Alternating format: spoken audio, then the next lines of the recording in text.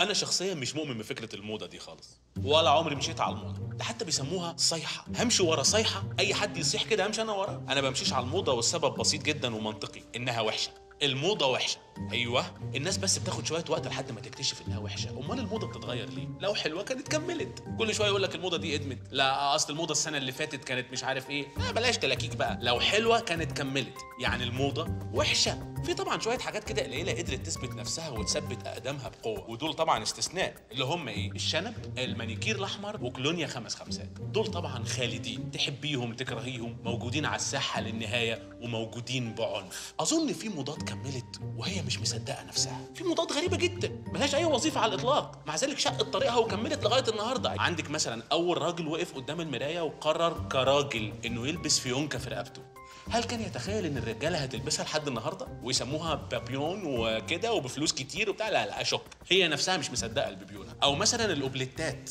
أول واحد قرر ينجد كتافه ويغير خلقة ربنا ويبطن تلابيسه لسبب ما هو بس اللي عارفه بينه وبين نفسه. هل ده كان متوقع إن كل الناس هتمشي على خطاه للنهاية؟ برضو أنا ما أظنش. غير كده الموضة بتاخد وقتها وتتكل على الله. لا وبيجي عكسها كمان عكسها بالظبط. يعني مثلا كان في أزمنة كانت الست المربربة المفتخرة هي رمز الجمال والأنوثة. وكل ما ترمي كيلو جرامات معاكي كل ما تحلو ومهرها يغلى. يعني مثلا قال لك إيه؟ ما تبطل تمشي بحنية لا يقوم زلزال. ده كده ماشية بحنية. آه ده غير لو مدت بقى. أنا مش هتكلم عن الجري. قال إن في مرضى قلب وأطفال سامعيننا وبتاع لأنها لو جريت هيبقى تسونامي بقى. أزمنة تانية؟ قلبت العكس خالص. الست الهزيلة ذات الهيكل العظمي البارز هي الشيء. ده عودك مرسوم على السنجة. شفت؟ الصغيرة دي اللي هي الرفيعة دي. السنجة دي. شوف السفيفه قد إيه. أو مثلا في أغنية يقولوا فيها كنت فين وأنا فين جيت لي منين ما شافهاش. جت وعدت من قدامه مشيت ما شافهاش.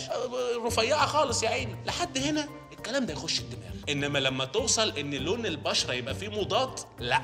كده يبقى دخلنا في منطقة مش تمام. زمان كان بياض البشرة مثلا شرط أساسي من شروط الجمال. قالوا زمان في الأغاني البت بيضة بيضة بيضة البت بيضة وأنا اعمل إيه؟ شوف الكلام. كلام كتير جدا تخرجش منه غير بمعلومة واحدة. اللون مسيطر جدا بيضة وخلاص. ويا عيني من كتر ما هي بيضة ارتبك. مش عارف يعمل إيه. مع بداية تحرر المرأة وخروجها للنور بدأ السمار يظهر. تعرف طبعا إن النور بتاع الشمس مع البشرة ممكن يعمل سمار خفيف وكده؟ السمار ابتدى يفرض نفسه على الساحة كلون ظريف عملي بيستحمل بيليق على كل حاجة. في الأول السمار دخل على استحياء كده. حتى الأغاني كانت تقول لك إيه؟ أسمر أسمر طيب ماله؟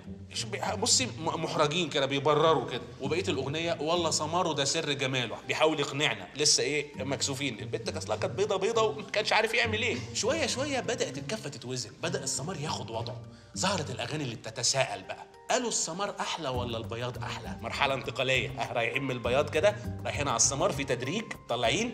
ام لغاية ما وصلنا للإفتراء بقى. اسمر يا أسمراني مين قساك عليا؟ الأسمر هو اللي راكب دلوقتي ومسيطر شاف نفسه خلاص فجر بيقس على الناس. فاكر لما كانت بيضة ونية ولذيذة؟ دلوقتي شفت نفسك شوية شوية بدأ الموضوع يتطور. جالنا البرونزي كسر الدنيا. ده اللي هو بني ميتاليك كده. ومن هنا بقى دخلنا في جنون التان. تان طبيعي تان صناعي كريمات مكياجات الحكاية وسعت خالص. كل درجات اللون البرونزي من البيج الهادي مرورا بالفران الفاتح لل gray الغامق. واللي نازل الشتاء ده بالمناسبة لو تحبي يعني تلحقي نفسك اللي هو الجريج. اللي هي الدرجة اللي ما بين البيج وال gray. جنان. الحواجب. حد في الدنيا يقول إن الحواجب بيتعمل فيها كده؟ الحواجب دي مش بتعتبر من ضمن ملامح الوش برضو؟ بعدين ما بنتشطرش على الرموش كده ليه؟ حد يقول لي مش معقول. خلاص ما بقاش عندنا شخصية لدرجة إن شوية ناس يقرروا إن الموضة السنة دي هي الحواجب الدوجلاس اللي هو الخط الرفيع قوي ده. نقوم شايلين حواجبنا كلنا فورا ونسيب خط رفيع كده عديم المعنى خالص. السنة اللي بعديها يقرروا إن هم اتسرعوا وغلطوا ولازم يعوضوا الحواجب عن الأذى ده. فيعملوا إيه بقى؟ تطلع موضة إن هم يرسموا الحواجب التخينة قوي وتتحول كل الستات لمحمود مرسي في فيلم فجر الإسلام. السنة اللي بعديها الحواجب الطويلة لحد الودن. اللي بعدها الحواجب النص القصير جدا ده. اللي بعدها بقى يطلع التاتو. تاتو الحواجب. علشان يقفل على المنطقة دي خالص. لون مصمت لميع خالي من أي شعر. معقولة؟ في كده؟ عمليات التجميل جننت الستات حضرتك. نفخ وشد وربط وشفط. كل ده ليه؟ عشان نحارب الطبيعة؟ طب وإيه النتيجة؟ هتحارب الطبيعة والطبيعة هتقف ساكتة؟ عندك 50 سنة وقررتي تتحدي الطبيعة وتتحولي ل 20 تمام.